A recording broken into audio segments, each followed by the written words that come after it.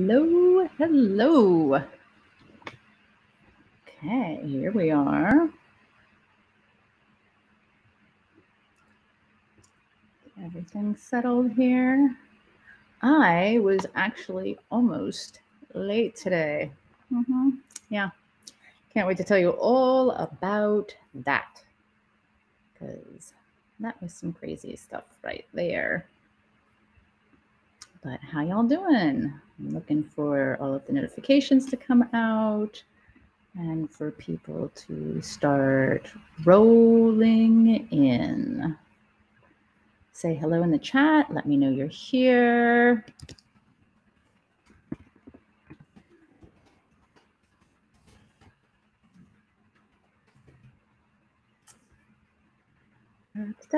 There she is. Hello, hello, hello. Okay. Choked on a croissant and coughed till I peed myself and needed a shower. Hope your day is better. Um, yeah. I didn't pee myself, so there's that. But uh, yeah. Hello, Ava. Lovely to see you. Hello, Cosmopolite. Hello, Kiba. Okay, I'm going to go ahead and uh, just start the introduction and then we will go from there. So, hello, hello, hello, everyone. I'm Heather. Uh, my friends and lots of other people call me Nookie. And I have spent the past 15 years of my life um, recovering from an abusive marriage and creating an amazing, loving, and full personal life. Um, I am fortunate enough to be able to write books, uh, teach classes, run workshops um, like this today uh, about love, sex, romance, and kink for people of all genders, relationship statuses, orientations, and more. I have always been curious and adventurous when it comes to how people relate in uh, emotional and physical ways, including sex. And luckily, I've had some partners who've been the same. so I have had the opportunity to explore many facets of sexuality in loving and creative ways around the country and around the world. And I've had the opportunity to travel and teach these things as well. Here's the thing, and I know those of you who come to this on the regular are probably sick hearing this, but whatever all of my experiences thus far, and I mean every single one of them, have led me to the belief that boundaries are the key to not only saving ourselves, but our relationships. They are what take us from getting by or merely average to loving, healthy, strong, passionate, enthusiastic, uh, Twitter pated, and fan fucking tastic. So let's get started. As usual, I'm going to kick us off with an introduction to my book and how I am writing it.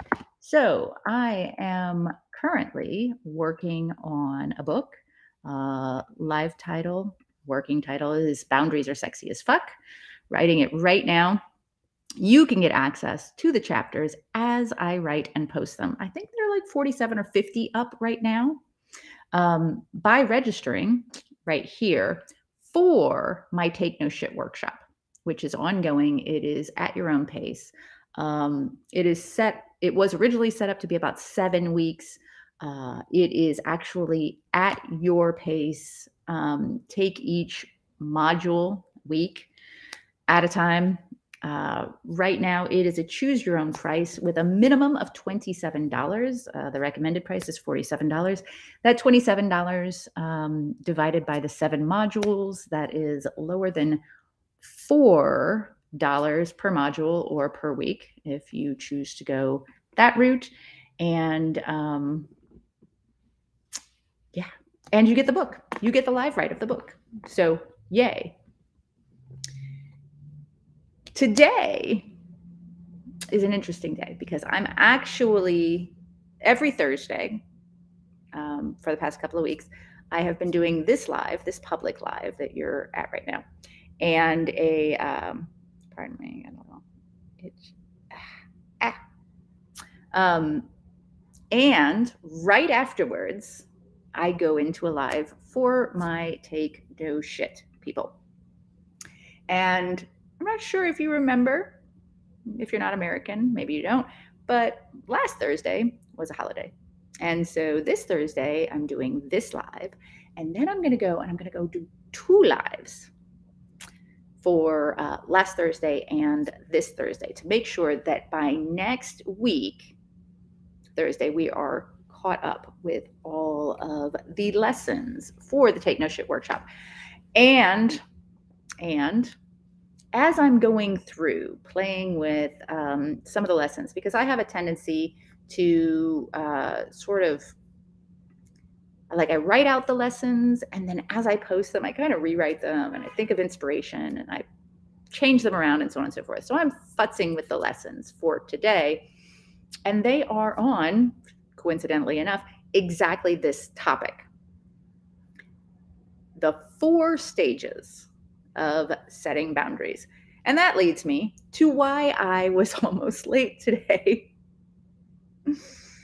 so, again, for those of you, hello, Steve, lovely to see you. For those of you who have been following me and are part of the, the Take No Shit class um, workshop and the Boundaries Live Write, you might have noticed that I enjoy uh, sharing little illustrations, silly things, you know, etc.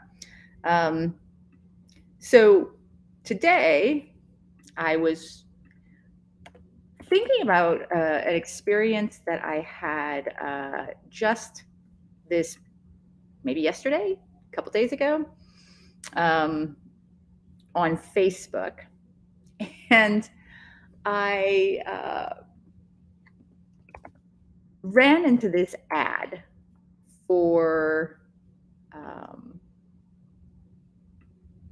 a cat suit, the perfect cat suit.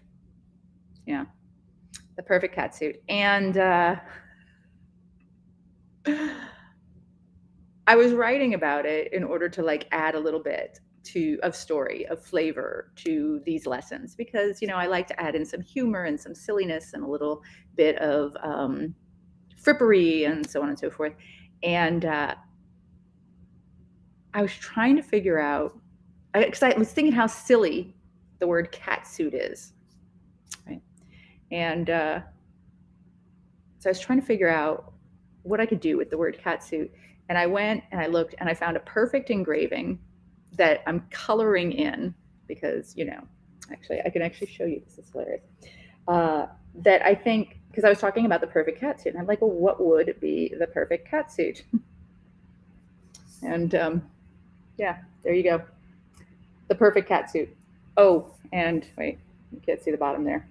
the perfect representation of boundaries as a cat suit, which that's why I was almost late today, is talking about uh, setting boundaries and how it can take practice to set these boundaries. So let's get into uh, setting boundaries, especially the four stages, because again, this is this is what I'm focused on today. So, um, interesting facts. Interesting facts. Uh, I'm not sure if you've noticed this, but things that don't bend break right? You put enough pressure on something that doesn't bend and it'll break. It's that simple. Um, and things that bend too much don't stand on their own. Right? So, have you ever tried to like stand a piece of yarn up on its end? No, of course you haven't. Because you're not like in the habit of doing things that are completely useless right? Because a piece of yarn is too flexible. It's going to bend all over the place. It's not going to stand unless you put like a straw around it or whatever, right? So boundaries are kind of like that. First of all, like your physical flexibility, Ava. Um, what's the joke? Uh, you know, seven years old, you know, fall out of a tree, get up, brush yourself off. I'm okay. I'm okay. You know, 45 years old, you throw out your back, picking up a pencil. yeah. Um, so boundaries are not set it and forget it, right? You can't just set a boundary and then leave it forever and ever and ever because you grow, right? You change. The people around you change, situations change. What might have served you um, when you were younger might painfully constrict you years later, right? Um, so boundaries are like this Facebook ad that I saw, the perfect cat suit. I'm going to talk about this a little bit more um, this afternoon as well. The perfect cat suit. And uh, what is the perfect cat suit? Which is why I had this silly picture of a cat that I was working on. It is second skin, right? It bends with you. You hardly know it's there, and yet it's strong enough to hold you in in all the right places. Maybe hide some lumps and bumps that you don't want people to see to protect you from the elements and from prying eyes, right? And when you wear it, you feel flippin' fantastic, and you hardly know it's there, right? So, what does the perfect cat suit have to do with boundaries and today's topic of the four stages of setting boundaries.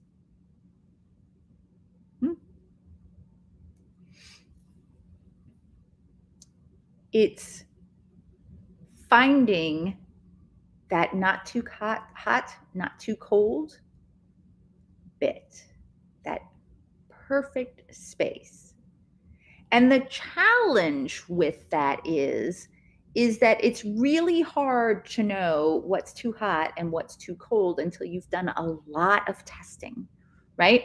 Like you go into a new um, a new home or a hotel room, and you go into the bathroom and you turn the water spout and you like stick your hand under it. Whoo, that's hot, right? And then you like turn it a little bit and you like wait for a second, you stick your hand under it. Oh no, a little too cold. And you turn, uh, mm, turn, turn, turn, turn until you get it just right. And then you get in the shower and you're in the shower for a little while and then you need to turn it up again, right? Because it's not set it and forget it. After, you know, you have gotten used to um, the heat from the first level of hell, then you turn it up because, you know, you're going way to the center in the afterlife and you might as well be prepared now. Or no, wait, I'm going way to the center in the afterlife, and I might as well be prepared now. That's how I shower. Um, boundaries, right? Practice. And you're going to make a lot of mistakes. You're going to make some errors. It's going to feel weird. It's going to feel awkward. You're not going to be perfect the first time around. But you're going to try, right? because like any other skill it can be learned it can be practiced yes joshua exactly lobster setting if i don't come out of the shower with my whitest bits at least the color of my lips there wasn't enough hot water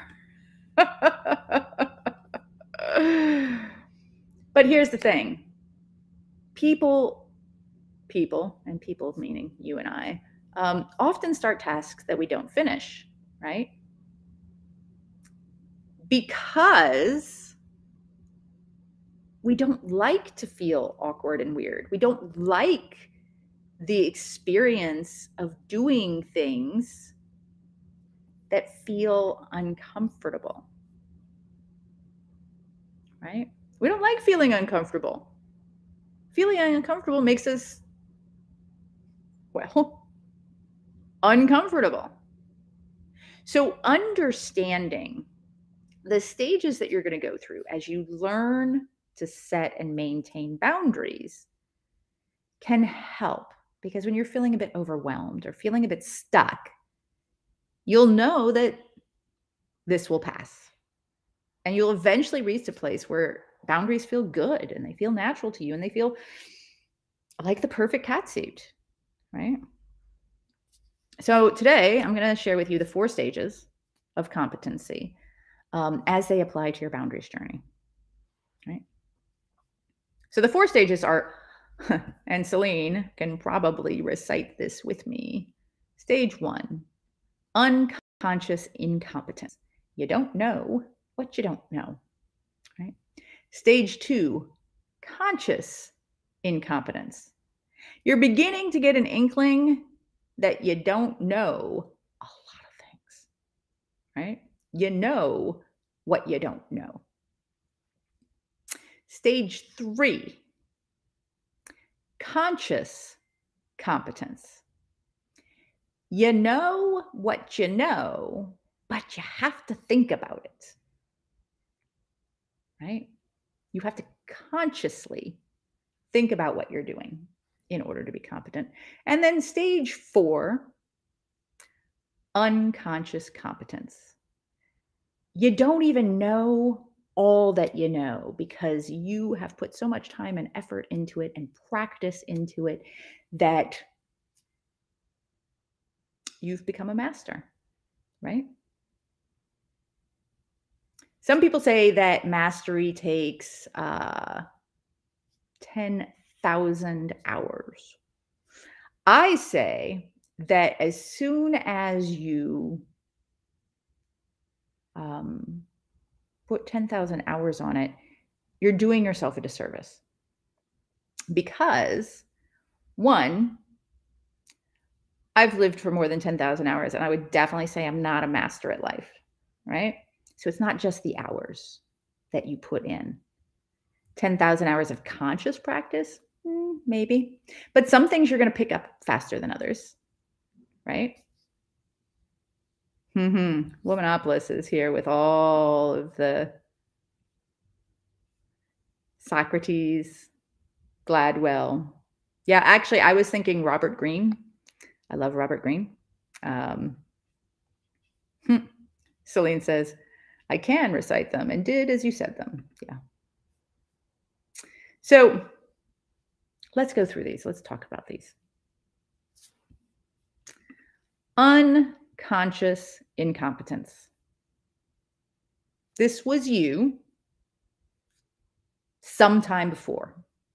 Because the fact that you're here means you're ready to learn. So you are at least in stage two. Hey, that's a step, right? But at one point, you were unconsciously incompetent. You didn't know what you didn't know. You had no idea what boundaries were, and you just went through life, right? You may have denied even needing boundaries or separation in your relationships. You might have been like, no, we love spending all of our time together. It's like we're attached at the hip it's so amazing what he does, I do. We're just so close. He doesn't even need any female friends. I'm all he needs. Okay, so that's maybe a bit exaggerated, but you know what? I've actually seen TikTokers that talk like that. So, yeah, unconscious incompetence.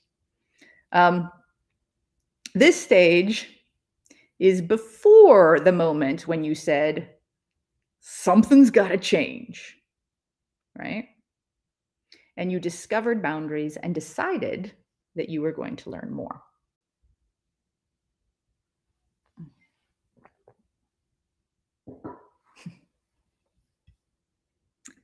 Stage two. I am not a crook. Yeah. Ali says, We literally have friends like that. It is cringe. Cosmopolite has said, Cringe. Yeah. Yeah, totally is. Okay. So, stage two conscious incompetence. All right. You, depending on how far along in your journey are, you might be here. You know what you don't know. And you're still not very good at all of this, right? You still don't really understand boundaries in this stage, but you do recognize the value of learning and creating good boundary skills. You're probably in this stage or the next stage right now.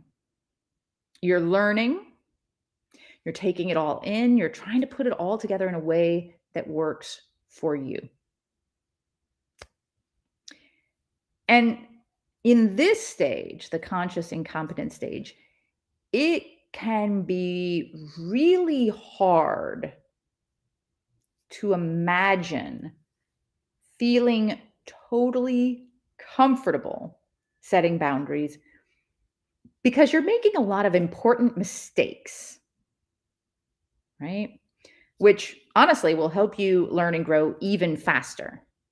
But you want to progress, right? You want to move forward and you know that there's a lot you can do to move yourself forward. This stage, though, is the most frustrating because, again, you know all the things you don't know and you're beginning to recognize when you fuck it up, right? You're beginning to recognize when you make a mistake. Maybe not as, as soon as you're making it, sadly, but afterwards you're like, ooh, I did not get that right damn it.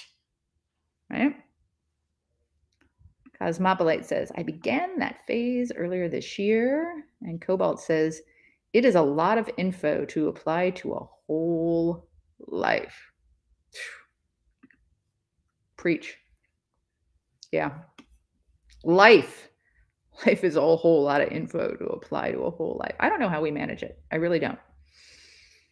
Um, Cosmopolite says, you might even think you get it in this stage, and then you might realize that you don't fully get it yet. Oh, yeah. Oh, yeah. Because this is the stage where you're often bouncing back and forth between unconscious incompetence. Like you think you've got it. This is kind of like when a kid learns to ride a bike for the first time and they've just gotten their training wheels off and they're riding with like only one hand on the handlebars. They're like, look, I can do it, right? And you're just sitting there going, oh my gosh, they're going to break their skull like a melon, right? and then they fall and they realize, oh, maybe I don't got it yet, right? Conscious incompetence. Celine says, I had tons of cringe moments at the start of this phase. And Joshua says, we live and learn, unfortunately, in that order. Oh.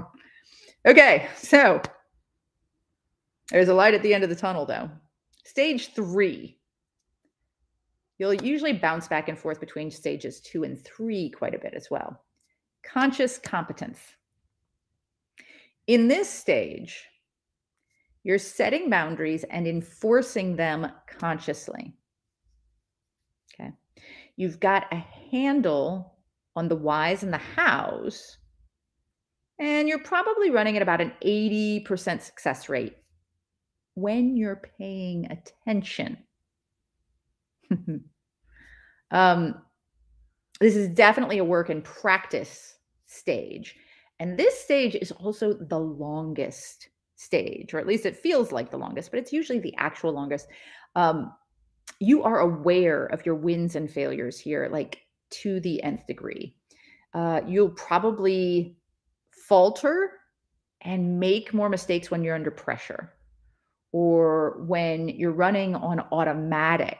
And that's pretty common. You can, though, see the improvements and you're fully realizing the benefits. So, this stage is actually the stage, interestingly enough, after all of the work getting to it. Um, this stage is the stage where most people fail because they stop putting in the practice and the conscious effort and they start to backslide. Um, they start to get to the point where they feel like they know everything because, hey, nothing horrible has happened recently, right?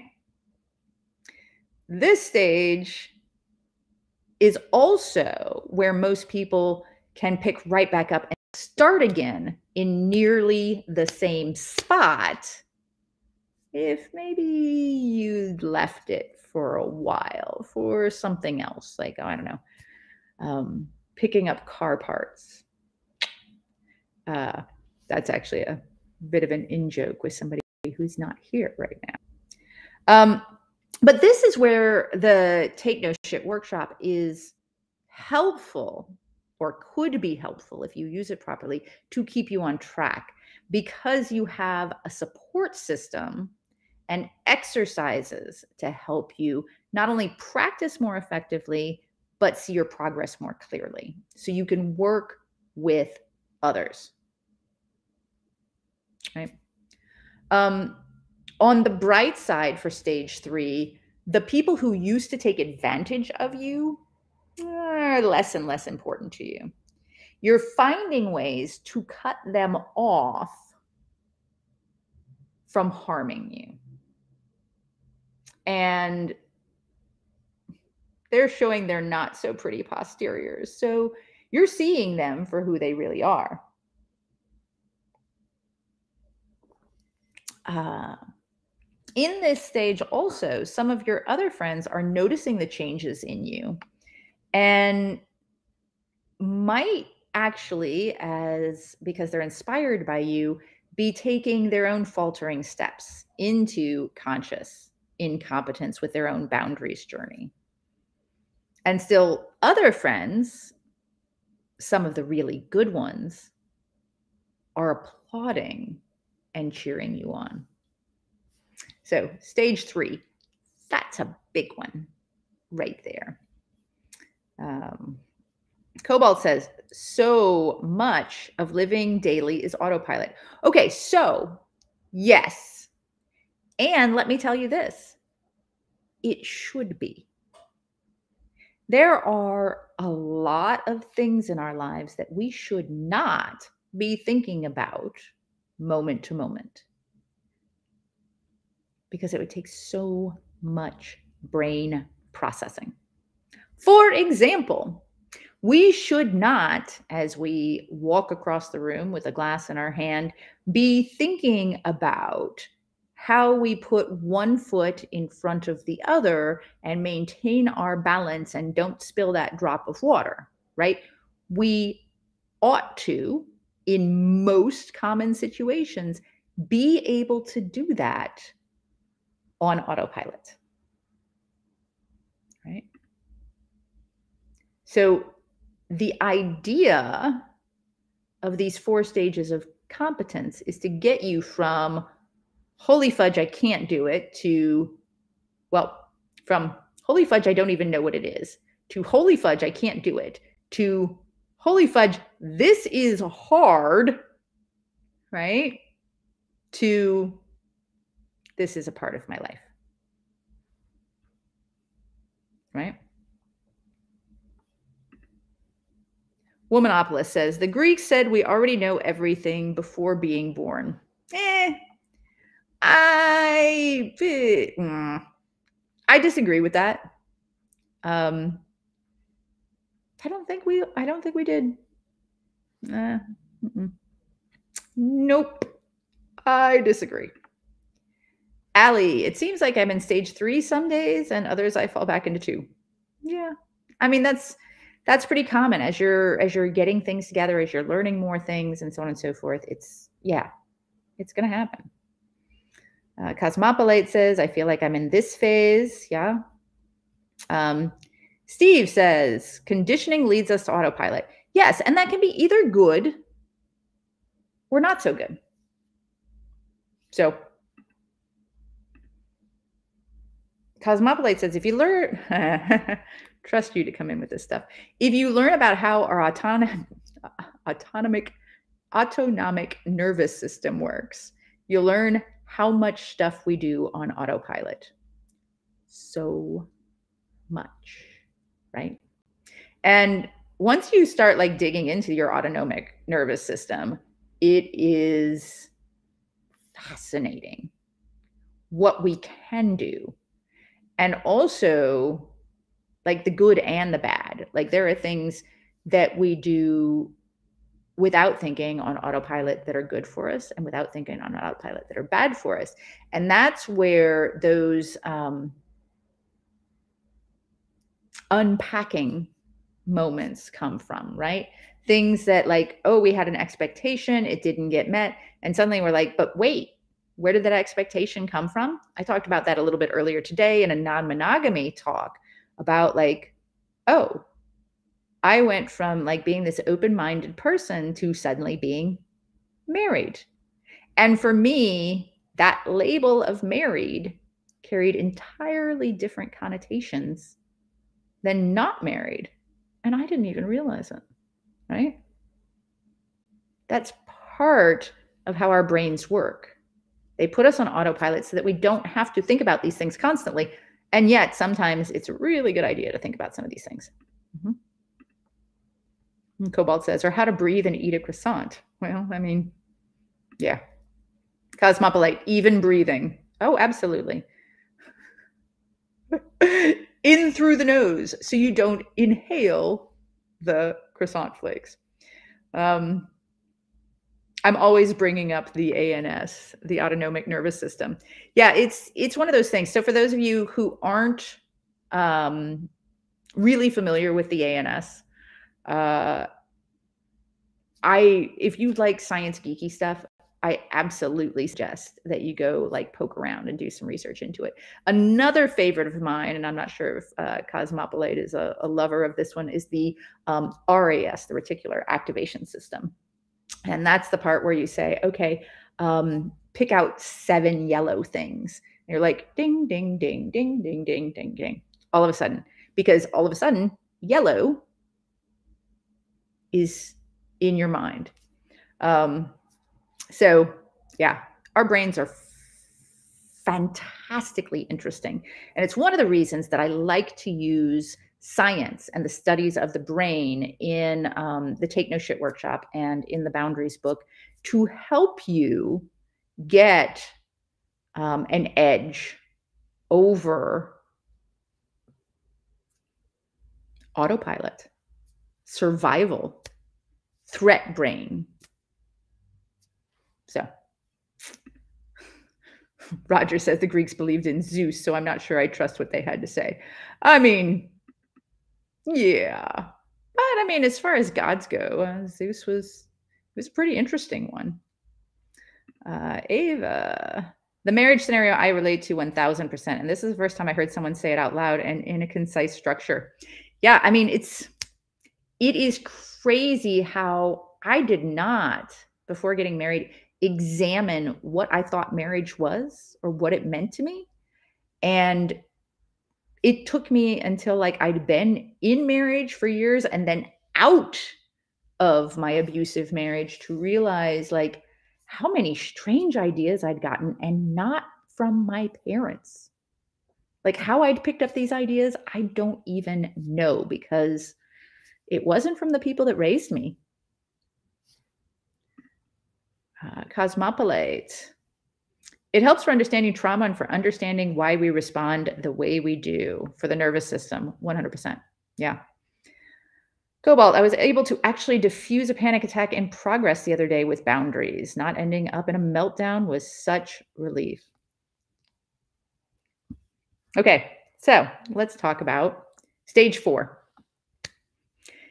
Stage four is unconscious competence. You don't know everything that you know because some of it you just know, right?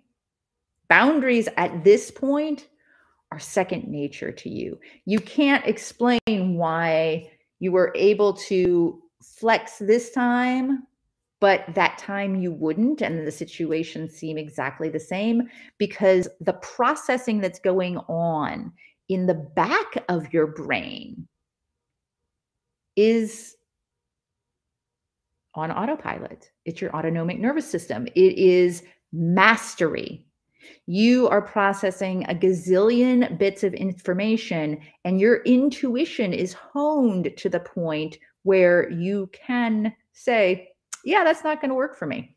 So I'm going to throw something out there.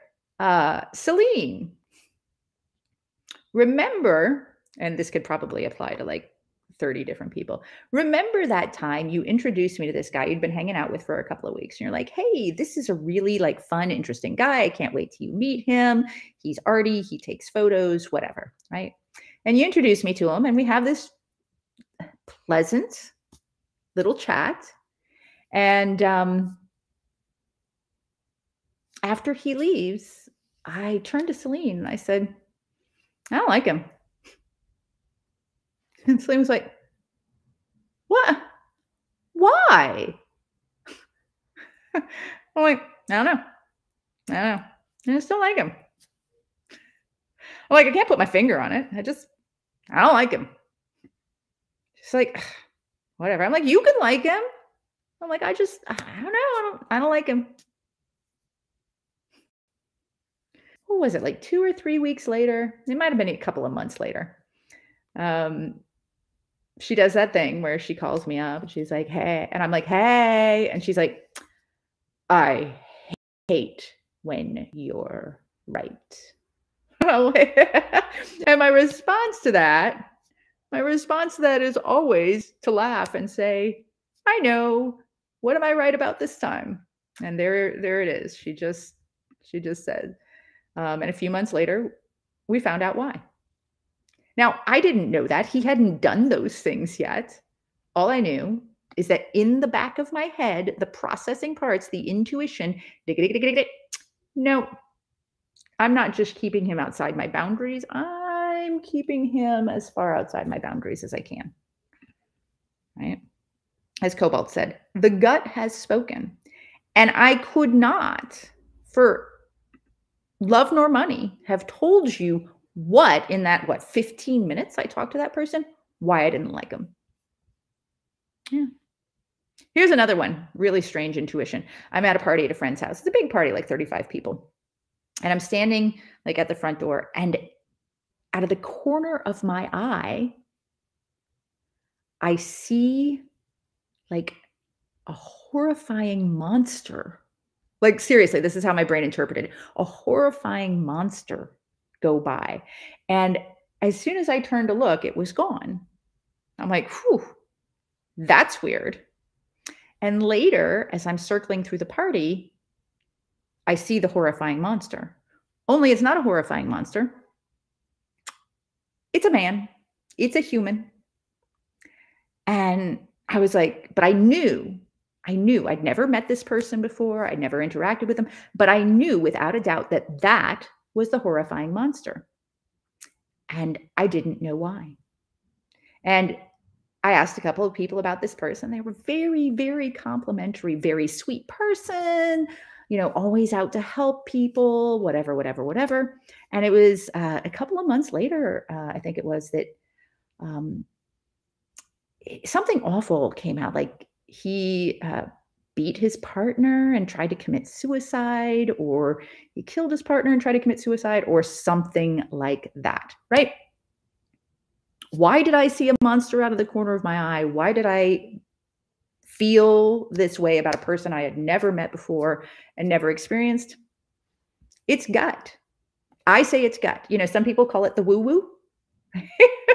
I don't call it the woo woo. I feel scientifically going back to cosmopolite's autonomic nervous system, scientifically, I feel that there are things that we pick up on um, that are not like ESP or anything like that. Um, scent, right?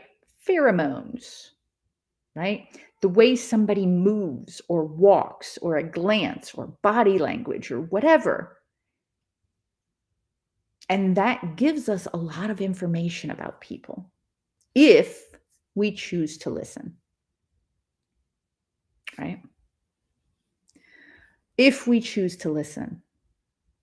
Uh, and I'm going to look something up here. Um, there is, for those of you, this is a little, little off topic, um, but for those of you who want to strengthen your intuition. Um, I have a link I can share with you. And it includes a hypnosis script. There. It includes a hypnosis script uh, that you can listen to, and it includes the written script as well. So you can actually see what I'm going to be saying. So I'm not like, you know, mucking about in your head or whatever. When I went to Thailand in 2018 to learn from a master hypnotist, uh, behavior modification, and so on and so forth, a good portion of the beginning of that was um, clearing out our own heads of messes so that when we did hypnotism with and for others, we would not be installing our own flawed neuroses and so on and so forth. And um, this script is a direct result of that. So, intuition, if you want to strengthen your intuition, I believe that beginning to set better boundaries is actually what helps you strengthen your intuition in a huge way because you begin to recognize who is and who is not going to push your boundaries, right? And when people feel like boundary pushers, you get the fuck out. You just don't you don't want to be around them. They have no interest to you. So Ava says the story just gave me chills. Yeah, it was very strange. It was a very strange story. Womanopolis says the eyes tell you everything, except that I can say that I don't always see the eyes. So, I mean, yeah, Cobalt says, I was thinking you could do another to help us learn to get back into safe brain. Hmm, I might be able to. Right now, I'm building some scripts to help me get through the next couple of months um, for myself, but maybe remind me of that. And then Celine says, I call it personal energy. Yeah. Okay, so unconscious competence. So you've mastered boundary setting and communication. Um, in this stage, people may take you by surprise once in a while, but you're generally quick to correct any holes in your boundaries. You rarely have to think much about your boundaries anymore because there's so much a part of your life and how you interact. Um, in stage four, you've noticed that the people who come into your life are radically different than the people you've attracted before they tend to be people with amazing boundaries of their own who honor and support yours. And the odd person without good boundaries who makes it into your life in this stage will either grow to match you.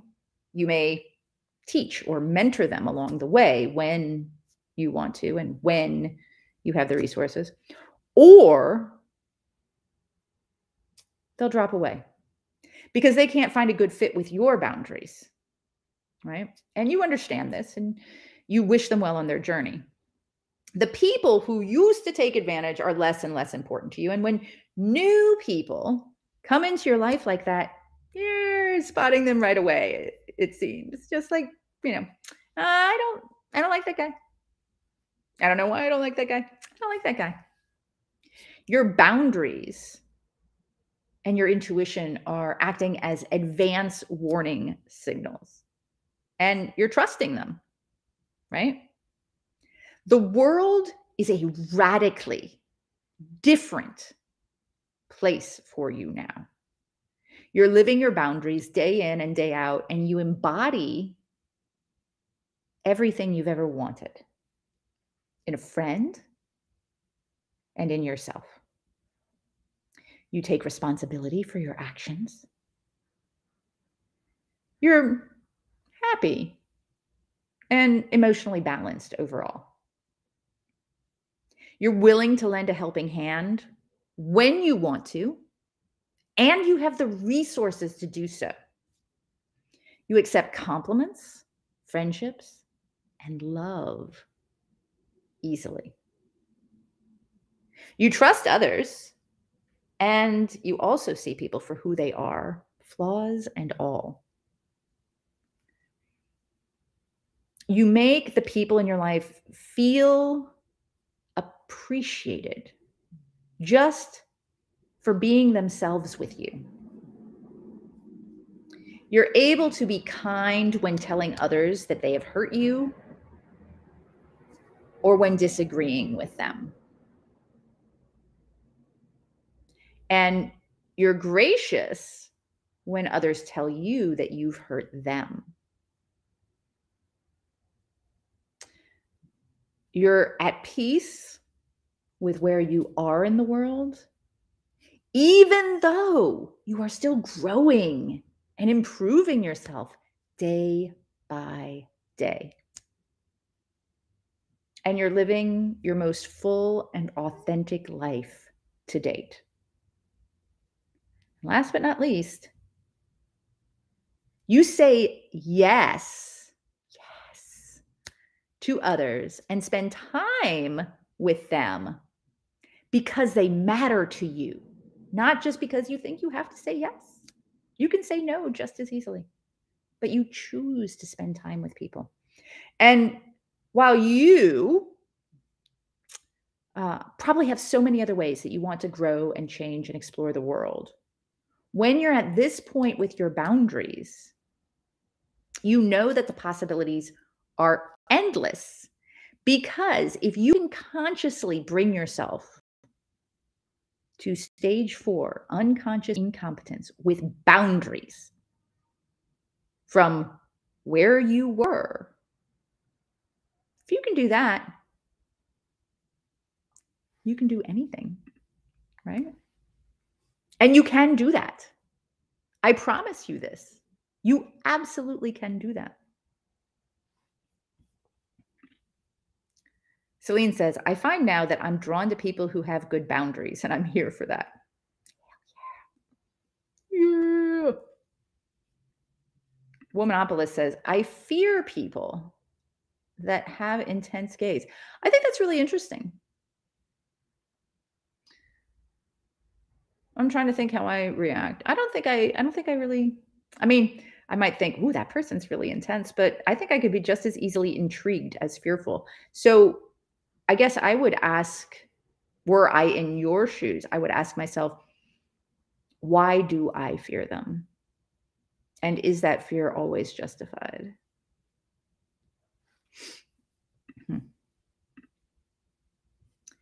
Cobalt, is it ever hard to recognize when you dodge a bullet since it's less dramatic than taking it? Yeah, I, I would say so. I mean, there's definitely been times when I'm like, I don't like that person. Hmm. Or, you know, like I shy away from getting deeper with people or whatever. And I see other people like seemingly having a fabulous time with them or whatever. And I'm like, hmm, maybe I was wrong. But I have every once in a while second guess myself like that. And then I realize that, ooh, I was right the first time around. So I don't do that really anymore. I'm like, ah, good for them. I didn't really get a good vibe off of that person. Oh well, right? Allie, sometimes intimidation can be fu- confused with fear. Maybe that's what it is at Womanopolis. Sure, intimidation. I mean, intense people can certainly feel psychically intimidating. Um, especially when you're a less intense person, right? I know that, you know, at the level that I tend to operate at, I, you know, so okay, so here's a story. So Celine, long, long time ago, asked me to help her run a kinky venue.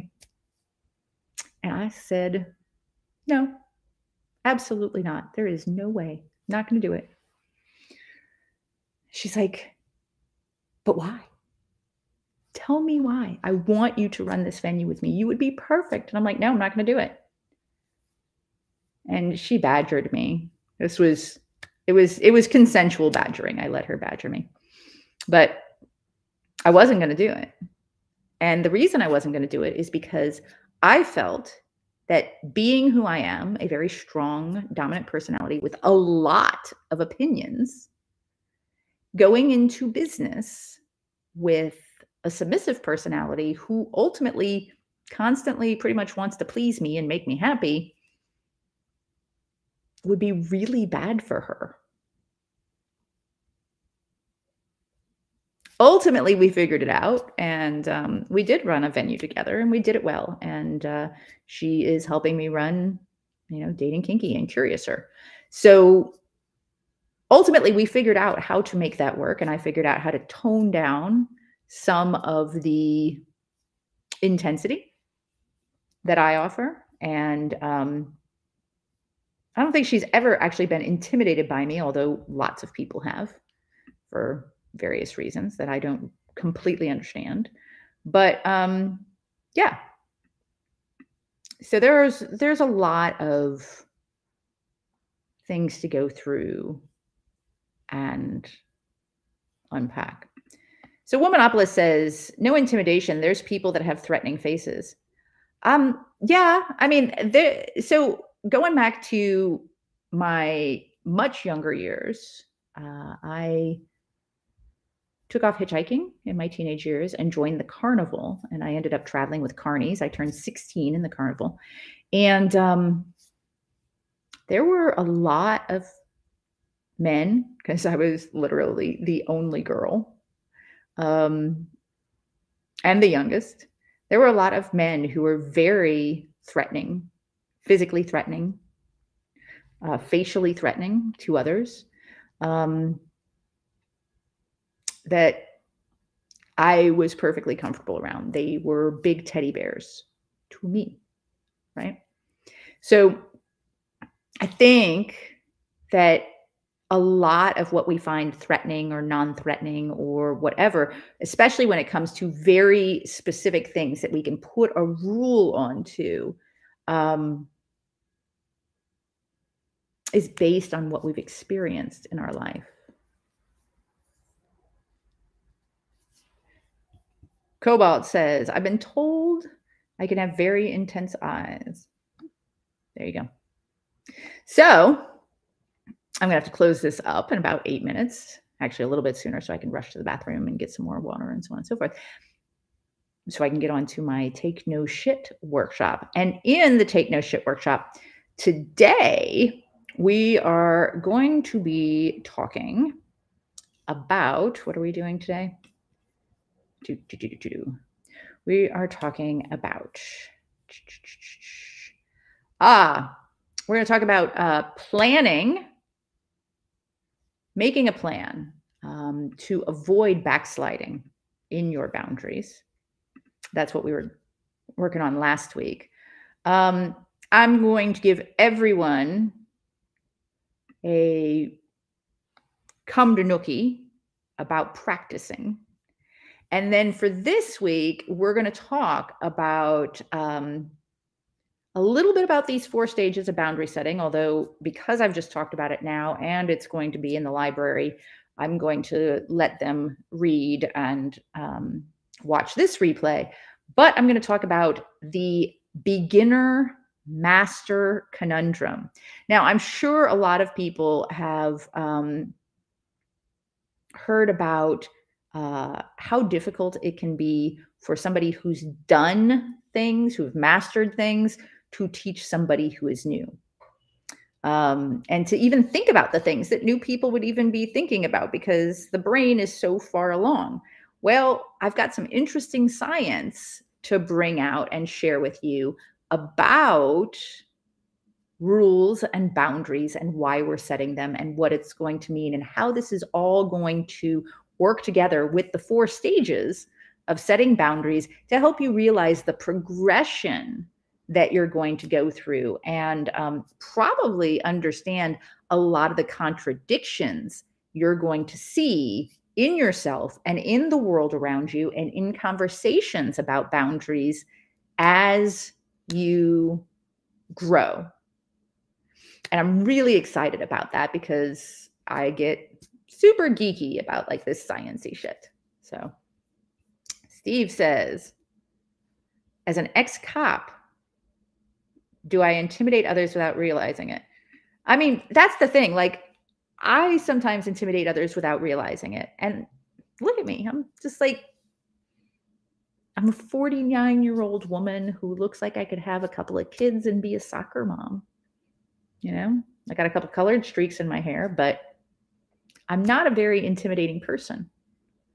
Oh, and speaking of, in the take no shit lessons that we're going to be doing here in just a few, I'm also going to talk a little bit about this boundaries conversation that I've been having. Now, those of you in the boundaries live write and in the take no shit workshop know a little bit about this, whereas there's this what boundaries are post going around the internet. And I have lots of opinions about it, including the difference between boundaries and ultimatums and why communication makes a difference. So, Allie, um, I just signed up for the workshop today. Will I be able to view the live? The countdown at the bottom of the page confused me. You should be able to view the live. Um, did you get your email? Because if not, real quick, um, shoot an email actually shoot a text. Let me give you, let me give you the new number for um, Curiouser. Oops. I'm going to the wrong place. I have to look it up because I don't have it memorized yet. Uh, so um, 919 299 1108. Pop that in there and I'll put it up on the screen. There you go. Let me double check that. 919-299. Okay, there you go. If any of you have any questions, need any help, whatever, that is this right here. That is how you reach out to us. And if necessary, Ava, we will make sure, uh, Ava, Ava just posted, Allie, we will make sure to get you that link so you can get in and see the live and get you set up immediately. But I have three minutes. Thank you all. I love you. Um, I put this in there one more time. There we go. That's how you get signed up for the live write and the take no shit workshop. And thank you all. Next Tuesday, I will be back at noon Eastern time. I'm not sure right now what the topic is because I'm running a little late. You know how I am. I usually run over for these things. So I'm going to kiss y'all goodbye and I'm going to go potty and I'm going to get some water. And then I will see everybody in the Take No Shit workshop in just a few moments. Thanks, y'all.